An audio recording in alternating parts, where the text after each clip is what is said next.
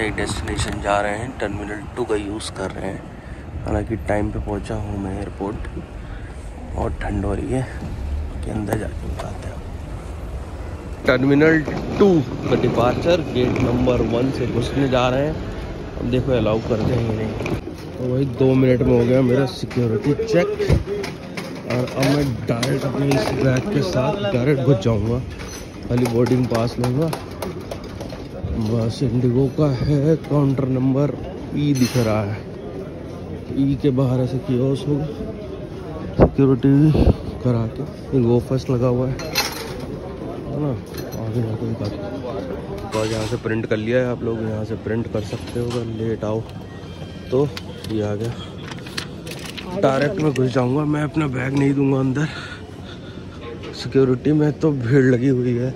आके दिखाता हूँ। थोड़ी तो भीड़ लगी हुई है भाई। देखते हैं पहुँच पाते हैं नहीं टाइम पे अंदर। साइड वाला गेट बहुत ज़्यादा भीड़ लगी थी। इधर वाला गेट खाली हो गया देखा मैंने। और इधर से कुछ जाएँगे जल्दी। तो भाई हो गई है सिक्योरिटी चेक पूरा खाली पड़ा है यहाँ पर तो। गेट नंबर थर्टी फाइव बोला है। थर्टी फाइव पे जाते हैं। देखते हैं टाइम पे है कि नहीं ये gate thirty five thirty five हमेशा से इधर कॉर्नर वाला होता है। ये वाला गेट होगा कोने पे लगा होगा। इधर एटीएम लगा हुआ है एच का। तो लोग बैठे हुए कोने वाला होगा। टू के पास जो लाउंज था, इसको बंद कर रखा है ड्यू टू गवर्नमेंट डायरेक्टर्स बंद है। टी थ्री वाला चल रहा था जो मैंने आपको बताया था, मेरा गेट नंबर चौंतीस आगे है। लगता है बोर्डिंग शुरू हो गई है, काफ़ी भीड़ लगी हुई है। ये रहा। की लाइट आ रही है छन के इधर बोर्डिंग शुरू हो गई। अंदर जाके जाते हैं। तो प्लेन का पॉटी वाला रूम और ये क्रू के लिए है। मगर मैंने उनको रिक्वेस्ट की है क्योंकि वॉशरूम जाना है तो मुझे अलाउ कर दिया है।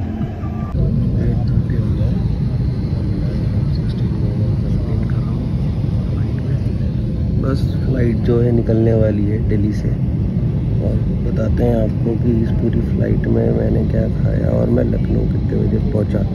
टर्मिनल टू का नज़ारा है ये, और आप सामने देख रहे हो, एक ट्रैफ़िक कंट्रोल टावर और सनशाइन हो रहा है भाई, और इस पर दिखा रहा था temperature six I don't know how भाई ये सबसे पुराना वाला एयर ट्रैफ़िक कंट्रोलर लग रहा है, और ये दो आ गए हैं। एक और, बीच वाला जो है वो नया वाला।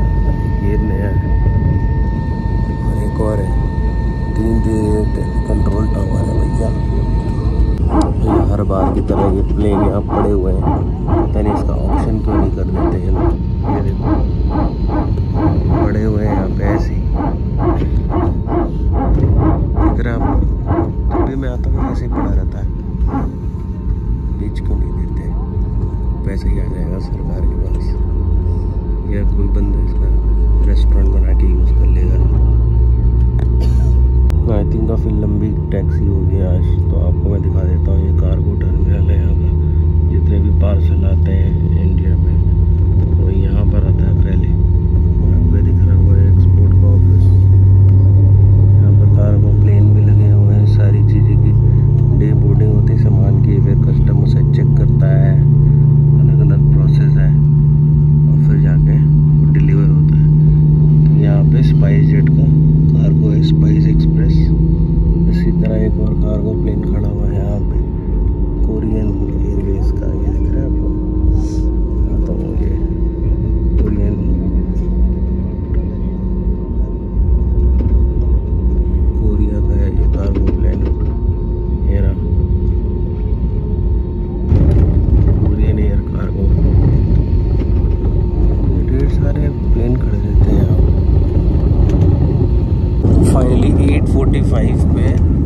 फ्लाई करने जा रहे हैं भैया। पंद्रह मिनट इसने टैक्सी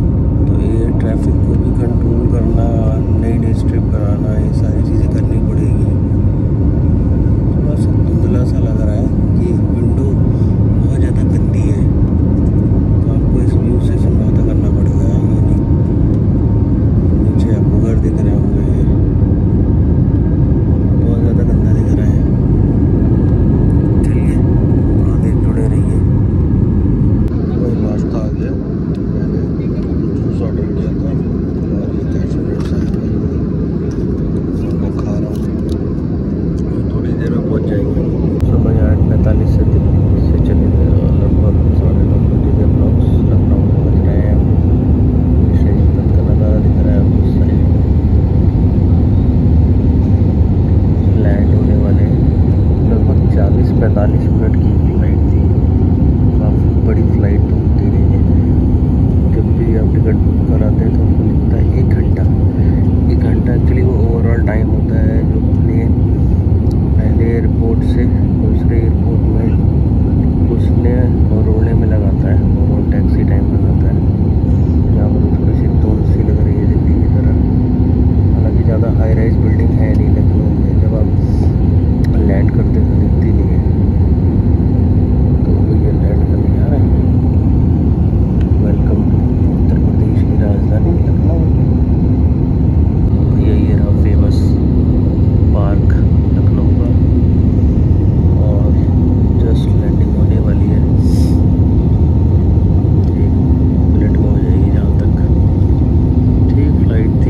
बट ये है कि मेरे कान जो है जब ऊपर गया प्लेन तो मेरे कान एकदम वो हो गए। जैसे हैं ना प्रेशर से वो हो जाता है। लेकिन अभी ठीक हो गए। लैंडिंग होने वाली है। तो पहुँच गए साढ़े नौ बजे। आप देख रहे हो जैसे लैंडिंग होती है ये खुल जाता है। चलिए आगे दिखाते हैं। तो भैया उतर गए हैं लखनऊ के हवाई अड्डे। ये रहा हमारा प्लेन जिससे हम आए थे। और अब जाएँगे प्लेन से। बस में और बस से फिर कार में और काम करने जाएँगे बस पहुँच रहे हैं तो रहे चलिए थैंक यू भैया। भैया अब आ गए लखनऊ। हवाई अड्डे से उतर रहे हैं। अब उतर के बाहर जाएँगे गाड़ी में बैठेंगे और अपने काम पे जाएँगे। इस ब्लॉग से जुड़े रहने के लिए बहुत बहुत धन्यवाद। ये रही यहाँ की कन्वेयर बेल्ट हमेशा से सामान लेट आता है यहाँ पे। इस साइड वॉशरूम है। और ये भैया अडानी का है।